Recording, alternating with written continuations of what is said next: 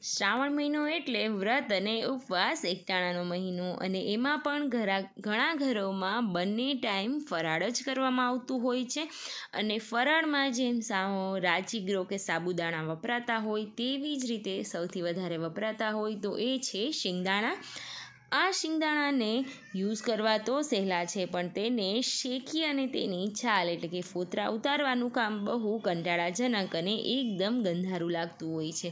કારણ કે તેના ફોતરા કાઢી લો ત્યારબાદ બધી જગ્યાએ ફોતરા ઉડવા લાગે છે. તો આ બધી ઝંઝટમાંથી છુટકારો મેળવવા માટે હું તમારી સાથે ત્રણ અલગ રીતે શિંગદાણાને શેકી અને ઇન્સ્ટન્ટલી તેના ફોતરા ઉતરી જાય તે ટ્રેક શેર કરી રહી છું. તો ચલો વધારે સમય ન બગાડતા રેસીપી શરૂ કરીએ. આ ટ્રીક સારી લાગે તો ફટાફટથી બધાને શેર કરજો, જેથી કરીને શ્રાવણ મહિનામાં ટ્રીક બધા ઉપયોગમાં લઈ શકે. હવે સૌથી પહેલી હું અહીંયા શિંગદાણાને કઈ રીતના શેકવા તે જણાવું છું. નોર્મલી જ્યારે વધારે શિંગદાણા હોય ત્યારે આવી રીતે એક મોટું પેન લેવાનું. મેં અહીંયા ટીનની જે કડાઈ હોય તે લીધેલી છે.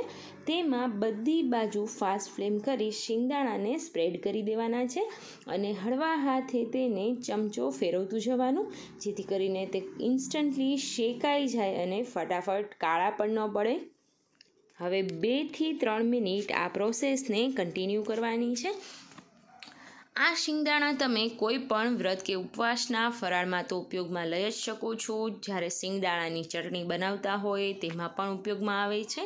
પણ જો તમારે સાથે સાથે શિંગ પાક બનાવવો હોય, એટલે કે ટોપરા પાકમાં શીંગનો ભૂકો નાખતા હોય, એકલું શીંગ પાક બનાવતા હોય, જે માંડવી પાક કહેવાય એ, તો એના માટે એક પણ દાણો કાળો ન થાય તે રીતે પણ હું આગળ શીખવાડીશ કે કઈ રીતના શેકશો. તો તમારો દાણો એક ટકા પણ કાળો બિલકુલ નહીં પડે અને હા, પલકારામાં જ બધા ફોતરા ઉતરી જશે. હવે અહીંયા બધા શિંગદાણા શેકાઈ ગયા છે, તો આપણે તેને બેથી ત્રણ મિનિટ ઠંડા પડવા દઈશું તો હવે અહીંયા હું એક નવી ટ્રીક શેર કરી રહી છું, જેમાં મેં થોડો એવો રફ હોય તેવા કાપડનો કિચન ટોવેલ અથવા તો જે રેગ્યુલર ટોવેલ હોય તે લીધેલો છે. તેમાં વચ્ચોવચ આવી રીતે શિંગદાણા ઉમેરી દેવાના અને તેને પલટાવી તેના ઉપર બંને હાથથી ખૂબ જ સરસ રીતના મસરવાનું.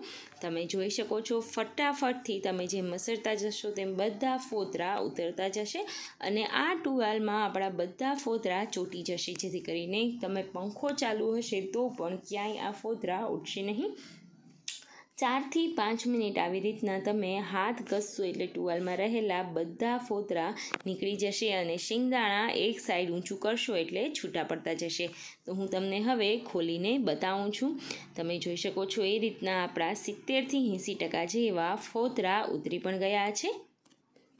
આ રીતે એકવાર તમે ફોતરા ઉતારી અને કાચની બરણીમાં કોઈ પણ ઝંડુની ગોળી અથવા તો કોઈ પણ જંતુનાશક ગોળી નાખી અને રાખી દેશો તો આઠથી દસ મહિના સુધી આ શિંગદાણા ખોરા નહીં પડે. અને જ્યારે શિંગદાણાની કોઈ પણ રેસીપી બનાવવી હશે તો ફોતરા ઉતારવાની, શેકવાની, માથાકૂટ વગર ઇન્સ્ટન્ટ જ આપણા શિંગદાણા રેડી હશે તો કોઈ પણ રેસીપી તૈયાર થઈ જશે. હવે અમુક અમુક દાણા જે તમને ફોતરાવાળા દેખાય છે તેને હું હાથ વડે દૂર કરી લઈશ. તો આ રીત તમને કેવી લાગી તે મને કમેન્ટ કરીને જરૂરથી જણાવજો. હવે હું બતાવું છું કે બીજી બે કઈ રીત છે જેનાથી શિંગદાણા કાળા નહીં પડે અને ફટાફટથી તેની છાલ ઉતરી જશે. જ્યારે મસાલા બી બનાવતા હોય ત્યારે પણ જો શિંગદાણા રેડી હોય તો ફટાફટ બનાવવું આસાન રહે છે. તો હવે નેક્સ્ટ રીત છે અહીંયા હું વજનથી જોઈએ તો ફરીથી અઢીસો ગ્રામ જેટલા શિંગદાણા બે વાર લઈશ. હવે આ શિંગદાણાને હું કોઈ પણ એક નોનસ્ટિક પેનમાં ઉમેરી દઈશ અને પેનને ફાસ્ટ ફ્લેમ પર સ્ટાર્ટ કરી દેવાનું છે. બધા શિંગદાણા એકસાથે ઉમેરાઈ જાય ત્યારબાદ ફાસ્ટ ફ્લેમ પર તેને સતત ને સતત હલાવતા જશો. જેથી કરીને ઇન્સ્ટન્ટલી બધા શિંગદાણા નીચે સરફેસ ઉપર અડવા અડતા હોવાથી ફટાફટથી તે ગરમ થઈ જશે અને ફક્ત ને ફક્ત બેથી ત્રણ મિનિટમાં જ તેના ફોતરા ઓટોમેટિક ઉપર રિમૂવ થતા જશે અને ક્રેક્સ આવવા માંડશે. તો આ થઈ આપણી બીજી રીત હવે ફરીથી આમાં પણ એ જ રીતે કરશું. થોડું એવું ઠંડુ પડે ત્યારબાદ ટોવેલમાં તેને રબ કરી દઈશું. હવે આપણી ત્રીજી રીત છે જે ઘરે માઇક્રોવેવ કે ઓવન હોય તેના માટેની બેસ્ટ હેક હવે અહીંયા પણ હું ફરીથી અઢીસો ગ્રામ જેટલા શિંગદાણા લઈ લઈશ અને તેને માઇક્રોવેવ પ્રૂફ પ્લેટમાં રાખી દઈશ. હવે ફરીથી અહીંયા આપણે માઇક્રોવેવને ત્રણ મિનિટ પર સેટ કરી દઈશું. ત્રણ જ મિનિટમાં આપણા જો તમારે અહીંયા અડધો કિલોની કેપેસિટી હોય તો શિંગદાણા એકસાથે શેકાઈ જશે. તો ફ્રેન્ડ્સ હવે અહીંયા બધા શિંગદાણા એક હારે શેકાઈ ગયા છે. તો હું તમને તેનું હાથમાં દાણો લઈ અને ફોતરું ઉખડીને બતાવું છું. ઘણા શિંગદાણાના ક્રેક્સ પણ તમે જોઈ શકો છો. હજી આ ચારથી પાંચ મિનિટ ઠંડા પડશે એટલે ફટાફટથી તેના ફોતરા નીકળવા માંડશે.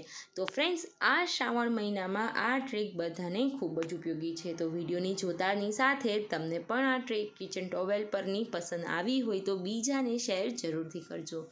Thank you so much